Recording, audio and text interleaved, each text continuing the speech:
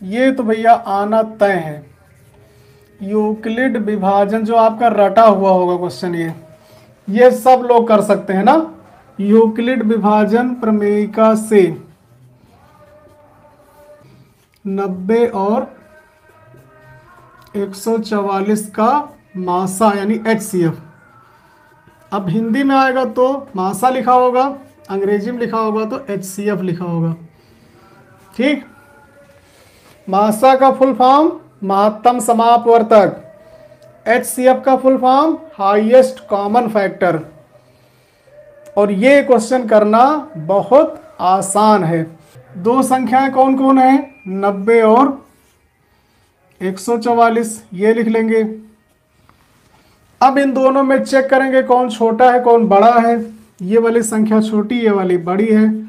इसलिए चेक कर जिससे हम पता चले कि हमको भाग किससे करना है। अब लगाएँगे इसमें यूक्लिड। यूक्लिड विभाजन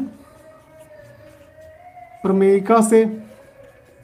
ये कुछ खास नहीं है, सिर्फ़ डराने वाला नाम लग रहा है। बाकी करना तो हमको भागे है, जो हम बहुत पहले से करते चले आ रहे हैं।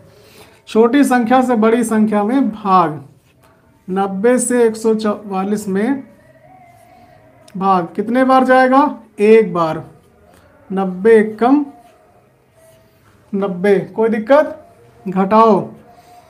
चार। और यहाँ बचेगा नौ, पाँच, चौदह, यानी चौवन। अभी शेषफल कितना आया? चौवन आया। ज़ीरो तो नहीं आया। यानी प्रक्रिया अभी और आगे करनी है। अब चौवन से भाग करेंगे नब्बे में। चौवन इक्कम चौवन। दस में से चार गए छ। यहाँ बचा आठ। आठ में से पाँच गए तीन। अभी शेषफल कितना आया? छत्तीस छत्तीस से भाग करेंगे चौवन में।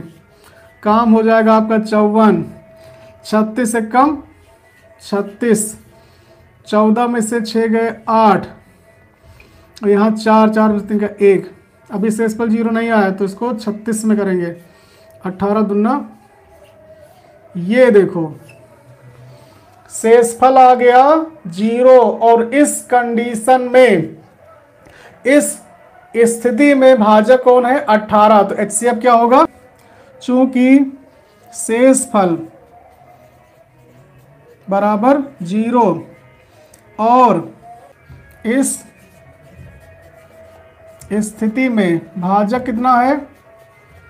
भाजक बराबर है 18 ठीक?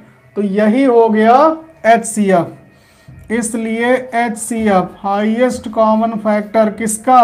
नब्बे और एक सौ चवालीस का बराबर अट्ठारह ये आपका आंसर।